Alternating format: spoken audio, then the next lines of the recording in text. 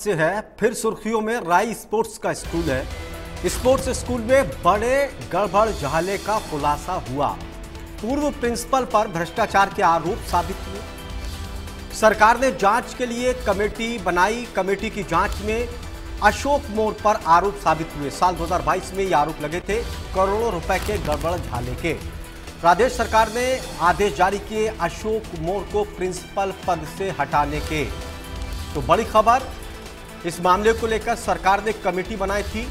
अब उस कमेटी से निकलकर आया कि प्रिंसिपल पर जो आरोप लगे वो साबित हुए। करोड़ों रुपए का घोटाला हुआ साल 2022 में। ये आरोप लगे थे, उसके बाद सरकार ने एक कमेटी बनाई, रिपोर्ट आई कि गड़बड़, झाला हुआ, करोड़ों का घोटाला। प्रिंसिपल के ऊपर जो लगा वो सही साबित हुए कमेटी की जाँच में।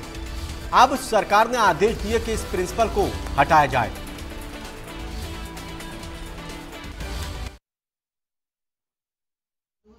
इक्कीस में कर्नल अशोक मोची आए थे एज प्रिंसिपल एंड डायरेक्टर और 2022 में, जून के महीने में उनको कुछ तथ्यों के आधार पे सस्पेंड कर दिया गया था।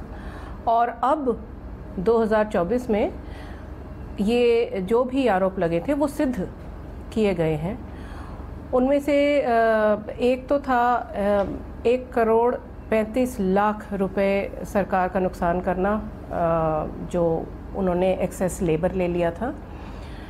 एक था आईपीएससी गेम्स उन्होंने सरकार के परमिशन के बगैर यहाँ करवा दिए थे 2022 में ही।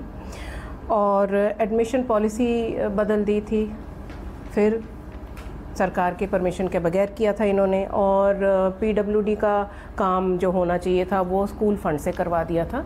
हमारी स्विमिंग पूल वगैरह रिपेयर हुई थी, लेकिन वो पीडब्ल्यूडी के पैसों से होना चाहिए था और उन्होंने अपने स्कूल फंड तो इस स्कूल पर आरोप लगे थे करोड़ों रुपए के घोटाले के प्रिंसिपल के ऊपर। इसके बाद मामला सरकार तक पहुँचा। सरकार ने एक कमेटी बनाई और कमेटी ने जाँच की तो फिर पाया कि जो आरोप लगे थे वो सही थे। सरकार के पास रिपोर्ट भेजी और रिपोर्ट के आधार पर सरकार ने ये निर्देश दिए कि प्रिंसिपल को हटाया जाए। कमेटी की जाँच पर अशोक मोर, इनका नाम है, इनके ऊपर आरोप लगे। दरअसल 2022 का ये मामला है।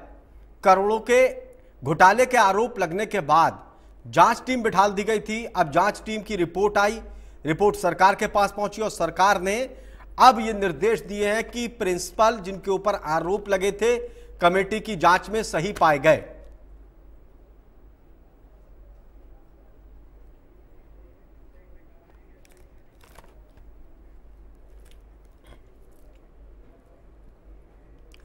चलिए, इस बीच एक बड़ी खबर आ रही सीधा उसका रुख करते हैं।